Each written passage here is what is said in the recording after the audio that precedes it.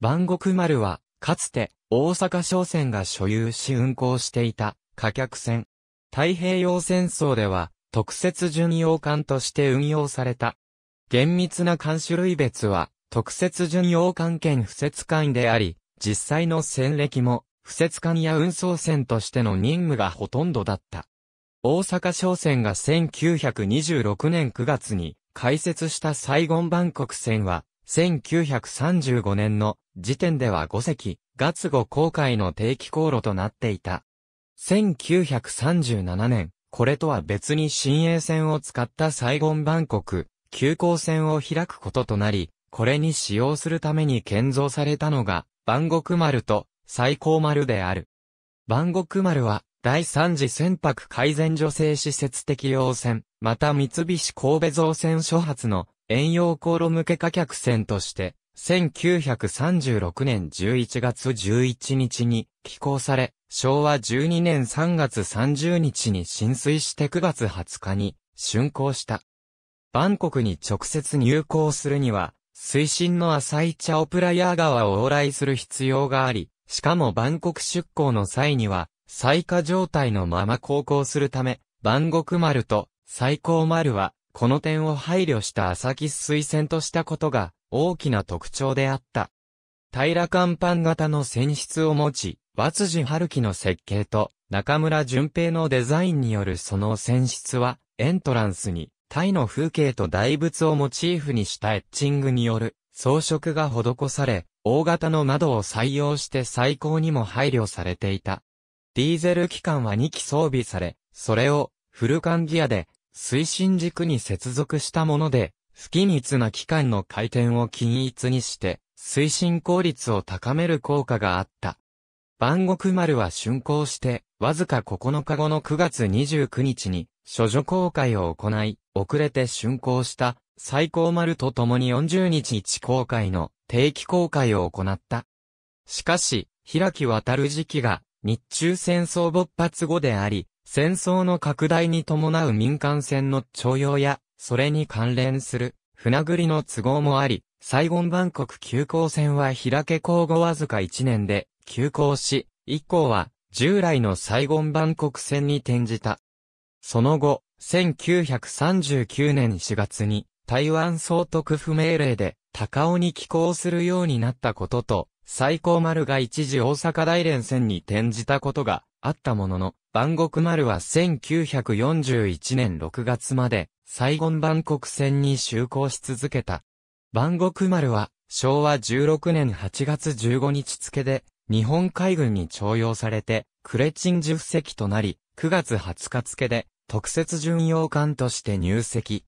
8月29日から入籍日をまたいで10月12日まで、宇品造船所で、特設巡洋艦としての偽装工事が行われた。特設巡洋艦となった万国丸は最高丸や、同じく特設巡洋艦兼不設艦の、金城山丸と共に、五警備戦隊に配属される。12月8日の海戦を挟み、文後水道で、防備機雷の不設及び、広島湾での防戦網不設に、10時の後、12月31日から1942年1月1日まで、紀伊水道での防備機雷の不設に従事する。以後も呉防備戦隊の主体として、スクモ湾を拠点に、対戦紹介や、防備作業、母艦任務、通信連絡業務などに携わった。4月18日の同リットル空襲に際しては、串本に移動し、空襲の手引きをしたと疑われたソ連輸送船の臨検を行った。10月4日から10月25日の間、万国丸は横須賀鎮守府の指揮下に入って、九時湾、宮古湾及び金華山沖などで、対戦機雷石の構築を行った。12月には、ソロモン諸島方面に、重砲部隊を持った海軍陸戦隊を輸送するオツ1号輸送に加わり、12センチ兵車砲などを装備した横須賀第7特別陸戦隊をトラック諸島経由でラバウルに送ることとなった。12月10日、万国丸は横須賀を出撃して12月22日にラバウルに到着し、1943年1月7日に再起に帰投した。ついで2月28日には、最高丸と共に、佐世保第7特別陸戦隊を乗せて、横須賀を出撃し、当初の予定では、横須賀第7特別陸戦隊と同様にラバウルに輸送する予定だったが、途中で行き先がタラワに変わり、3月17日に到着。万国丸と最高丸は無事に輸送任務を終え、4月2日に再起に帰投した。同年3月中旬、日本陸軍は日本海軍の海軍陸戦隊が進出するまで約1年以内という条件で中部太平洋方面へ日本陸軍部隊を派遣することにした。4月12日、大本営は南海第一守備隊と南海第二守備隊の中部太平洋諸島派遣を発令した。南海第一守備隊は中部地方部隊から兵力を抽出して静岡県で編成された。万国丸に乗船したのは富士の孫兵陸軍中佐含め801名、トラック18両、対長車1台、10センチメートル砲4門、砲弾1回戦分、糧食、弾薬、医薬品であったという。4月27日、万国丸は、陸軍南海第一守備隊のクエゼリン干渉への輸送任務に起用されることが決まった。5月1日、南海第一守備隊は、宇品で、万国丸に乗船。5月4日、万国丸は、特務官、間宮と共に、吹雪型駆逐艦、雷護衛下で、再起を出撃し、5月12日にトラックに到着する。トラックで間宮と別れた後、5月16日にトラックを出撃した。この売国丸の動きに熱い視線を注いでいたユニットがあった。ハワイのアメリカ太平洋艦隊戦闘情報班が、それで、そのうちの無線班が万国丸の動きに関する暗号を解読していた。それによれば、万国丸は、シンガポールの戦いの末に捕獲したイギリス軍の8インチ砲4門を搭載していたというものだった。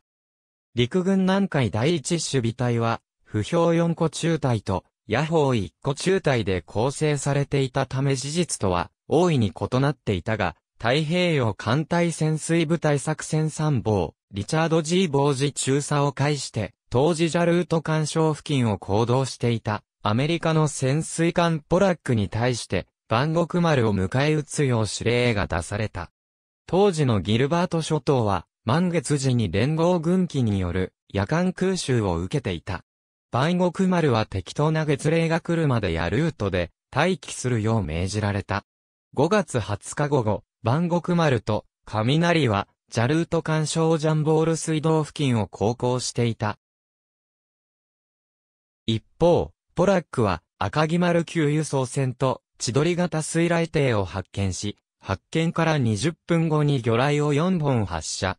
ポラックの発射した魚雷は3本が、万国丸に命中し、万国丸は300フィートに及ぶであろう、爆炎を吹き上げて沈没した。沈没まで約5分以内であり、強沈であった。雷が反撃に出て21発もの爆雷を投下し、ポラックはこの爆雷攻撃で電池と線だが、損傷したが、それ以上の被害はなかった。